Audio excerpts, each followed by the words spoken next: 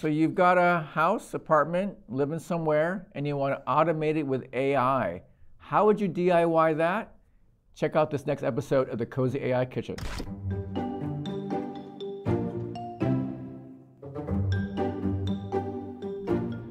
So it's not easy to make your home your nest, but ideally you can use AI to help you.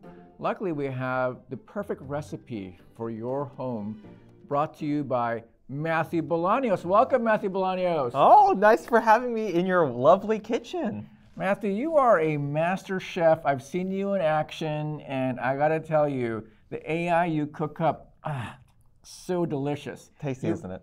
You're, you're, you're also bringing in special peripherals. What is this about? Yeah, I, I have myself a, a Hue bulb here, and I'm going to be showing you how you can use GPT 3.5. I'm going to be using 4o in order to have this light bulb turn on and off, even change colors.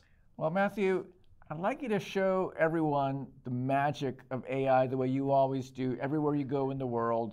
And so, welcome to the world of our guest chef, Matthew. Go ahead, Matthew. Woohoo! Alrighty. So what I'm going to be showing you today is basically how do you build something like an Amazon Alexa, right, with AI.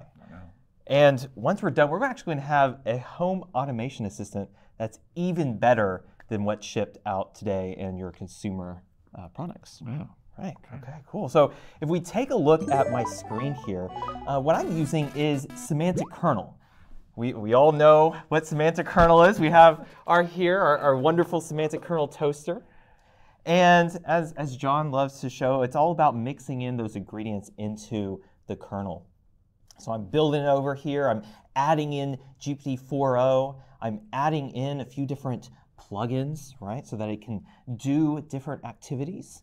And I'm, I'm commenting out the plugin for my Hue bulb just so that y'all can see what it's like when I don't have the ability to actually turn on off the light, right? Um, we build our kernel, and then we uh, obviously have our back and forth chat loop I just saw Bing in there. Bing, you know, what we want to be able to do is actually ask it some questions. Maybe even change the light to a color that's been in the news lately. Are you kidding me? Yeah, yeah. Okay. yeah. Oh, whoa. Something Wow. again.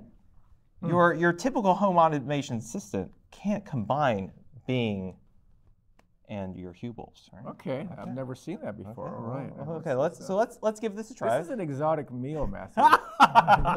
we're, we're adding really spicy ingredients, aren't we? Aren't we? Aren't we? is- Okay, so we- we've seen this before. We, we say hello, hi there, how are you today? But if we want to turn on the light bulb, hmm. can you turn on the light?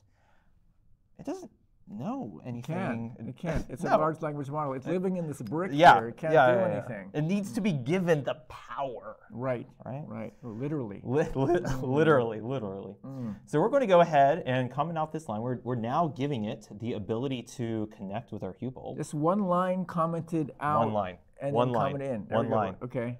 So we're going to uh-huh. go ahead and rebuild this. It's, it's going to now be given this capability. Wow. Hot reload. So if we it, want to, we can say turn on the light, and it's actually going to do that for us. So it's thinking a bit, and the light is now on.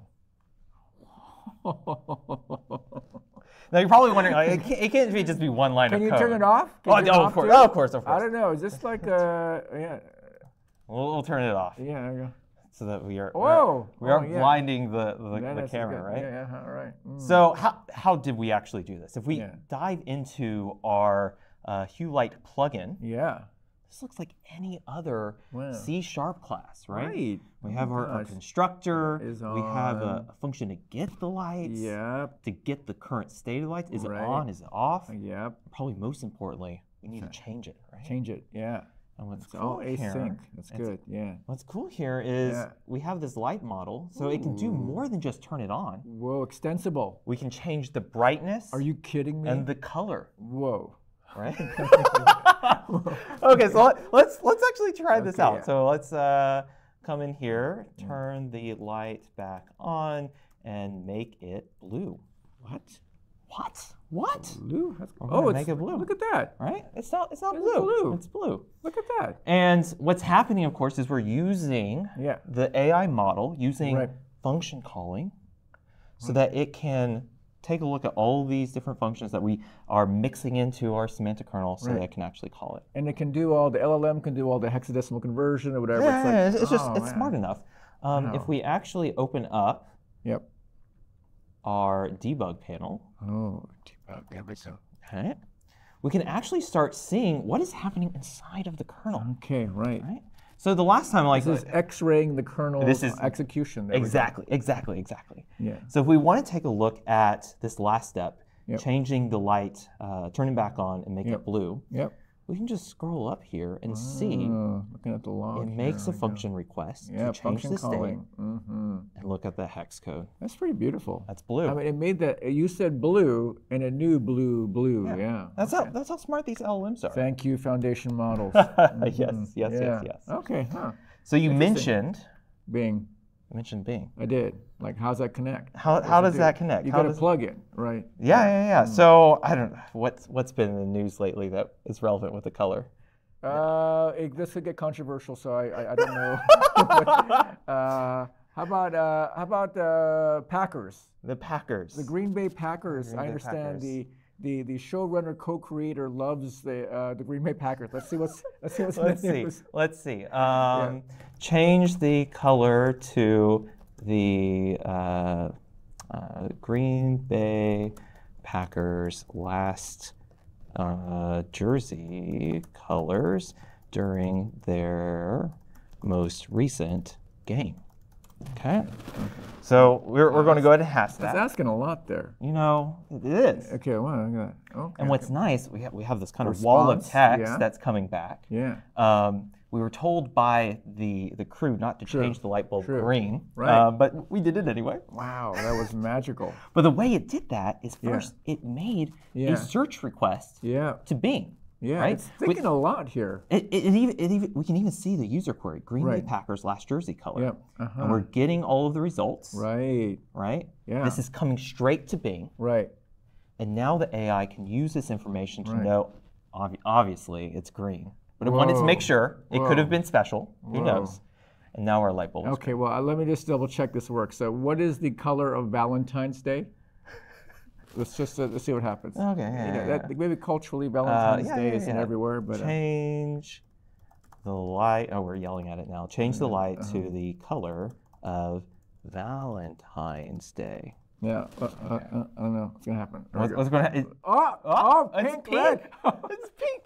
I would I would have assumed red. I, I like pink better. Well, pink you is know, better. it- you know, uh, wait, so that's a, so you're saying the Bing plugin and the light plugin and the planning ability of 4o. Yeah, This is yeah, what yeah. I'm. Is, wow, exactly it all comes together. Yeah, yeah, yeah. And you didn't write code to make that happen. You gave it plugins, and it figured it out how to. it figured it out, right? And that's what's so powerful about these new models is the old way of doing things is some poor dev out there had to like wire all these things up, right? Thank you, poor dev out there. poor dev. But now Yes. we can just throw plugins at the AI Yeah. and it can piece those, wire those things together.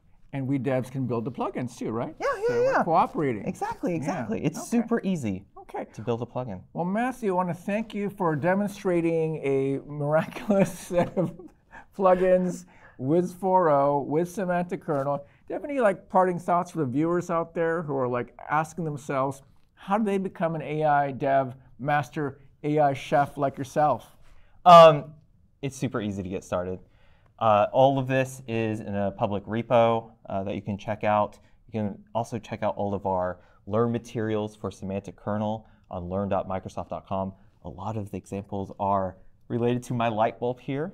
And as you kind of saw here, if you're an app dev, if you're used to coding in C Sharp or Java, even Python, it's as simple as creating some functions, giving them, giving them to the AI, and seeing magic happen. Well, we hope you'll be able to make AI magic out there yourselves. Keep on cooking. Thanks for coming.